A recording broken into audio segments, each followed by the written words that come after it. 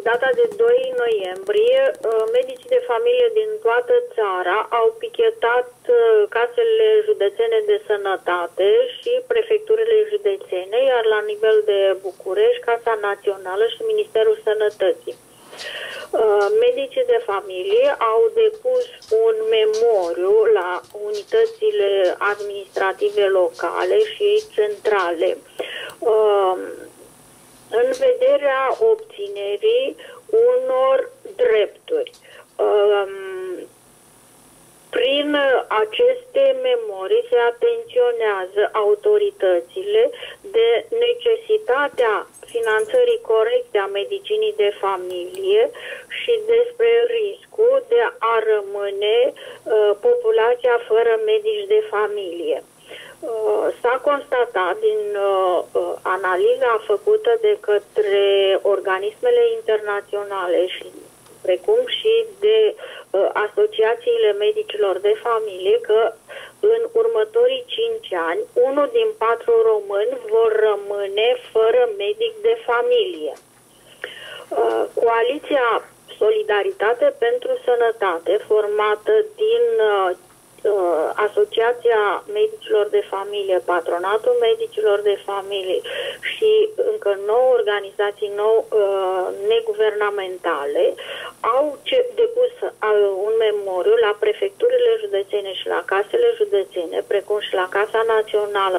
Coaliția Solidaritate pentru Sănătate a depus un memoriu uh, prin care solicită crearea unui echilibru între finanțarea sistemului public de sănătate prin alocarea a minim 10% din fondul de sănătate pentru asistența medicală primară față de 5,8 cât este în prezent, conform recomandărilor tuturor instituțiilor internaționale. Crearea mediului propice, unei relații funcționale medic de uh, familie, comunitate, familie, cetățean, prin de birocratizarea sistemului și neîngrădirea ariei de competență a medicului de familie în relația cu pacientul său și în acord cu pregătirea și realitatea medicală a secolului 21. Recunoașterea importanței medicului de familie.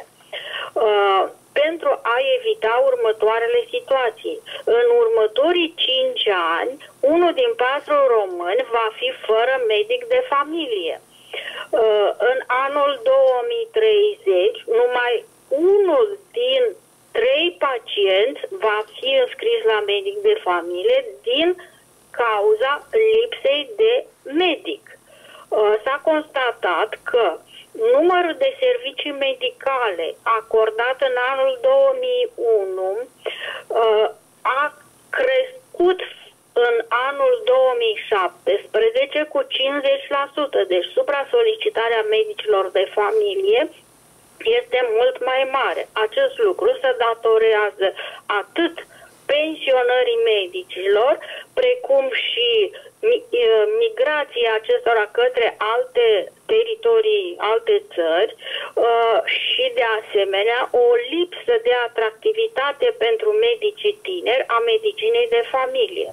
La noi în județ există un număr de 73 de posturi de medic de familie neocupate.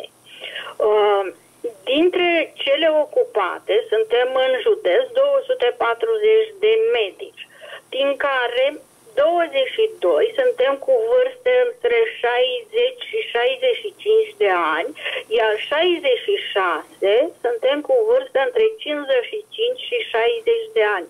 Deci o treime din medicii de familie sunt în prag de pensionare. Numărul celor intrați în sistem este foarte mic.